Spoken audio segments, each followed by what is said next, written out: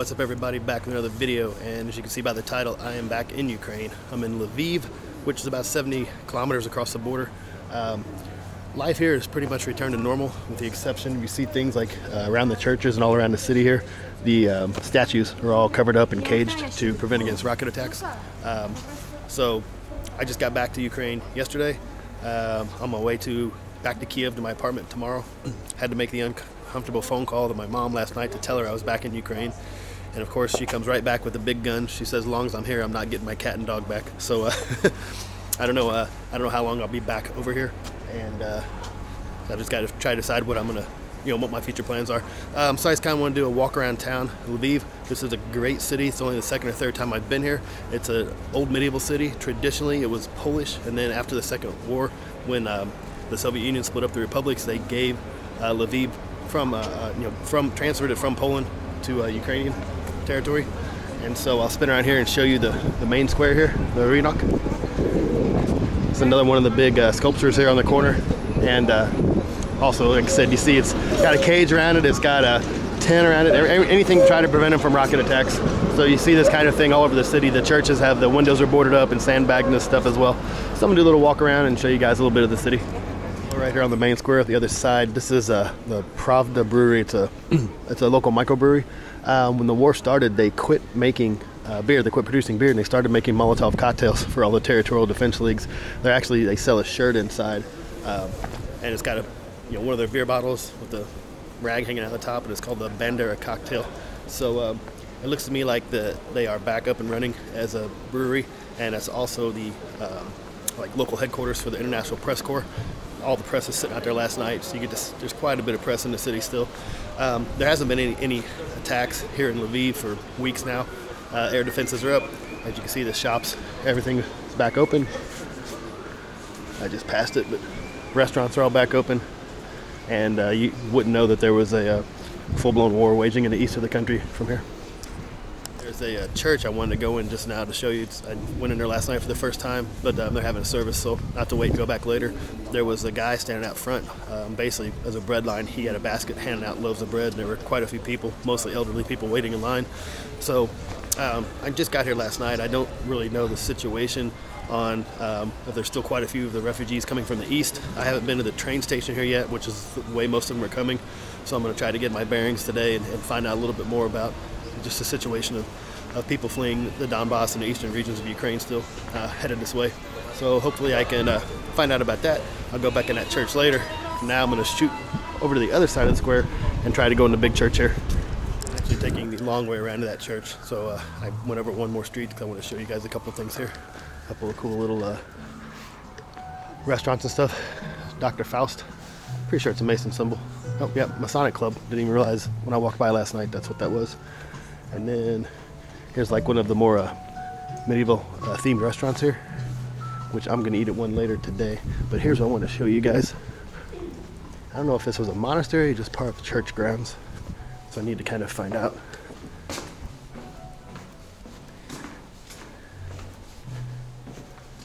So you can see the plywood in the windows where the windows for the churches are all boarded up.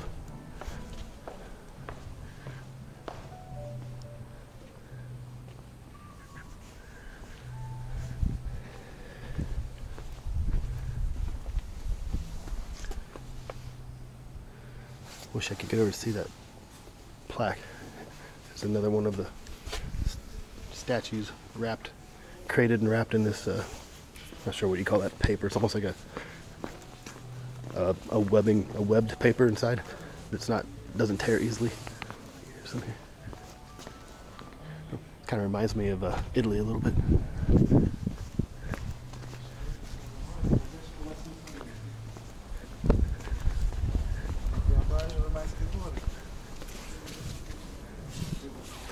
Okay. Head back up to the church. So this is a uh, this is a medieval city, and I think it's um, Ukraine's third or fourth largest city. Um, just, it, it's funny because so much of this just reminds me of Italy, especially down in the Tuscany area. One of the other places I wanted to show you, the it's like a little cocktail bar at night. It's pretty pretty packed. It's called the Plague Doctor. Oops, smack my head on one of these lanterns. And this is one of the famous uh, statues here. 46 81 81 I'm going to have to go back and translate that later. It's the father of something. Okay, keep going.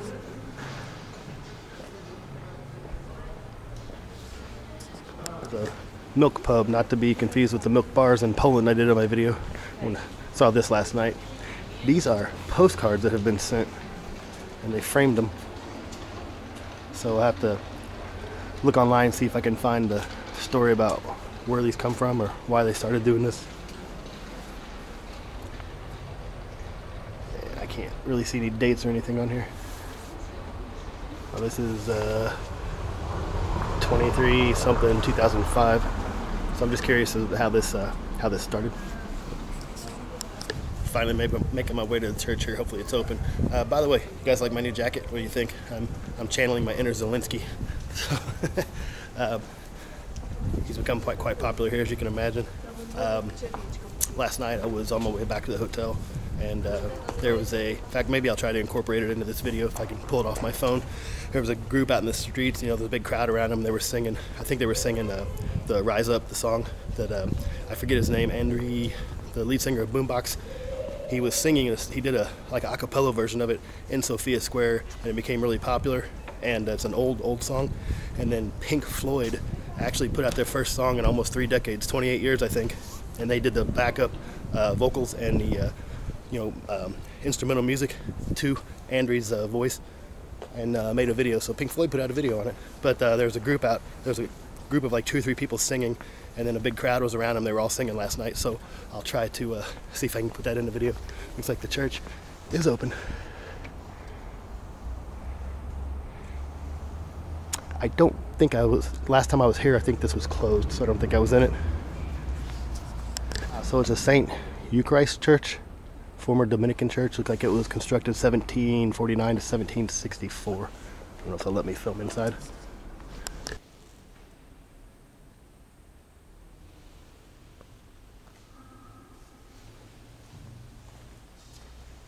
Sorry for that quick little video, but it said no cameras, no filming, so that's, that's about all I could get before I started getting dirty looks.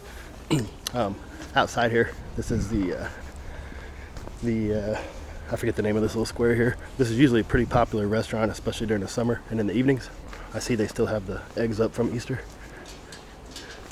Oh, I forgot you can do a tour of the undergrounds here.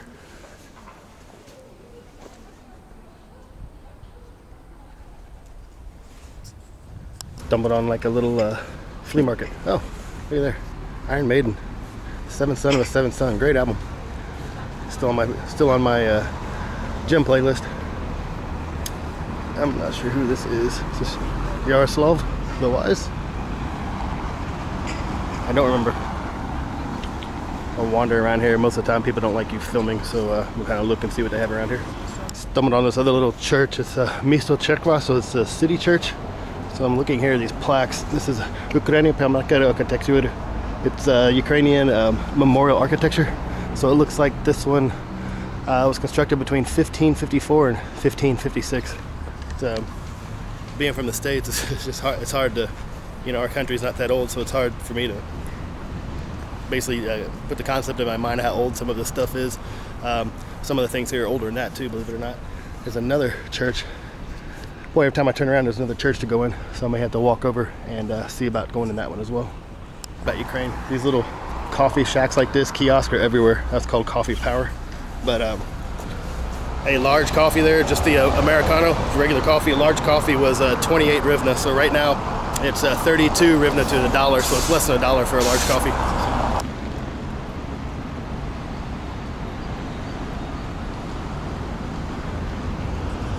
Okay, that wasn't a church. It looked like a church, but wasn't a church. So uh, I want to show you this one of these very famous statue here. You can see where um, I need to look up the story behind it. I'll look it up and I'll put it on a link in the description. But funny, it looks like Martin Sheen when he was younger. And I forget what this is called, a magician or something. So I've got to figure out. But this is one of the most popular statues in uh, in the city.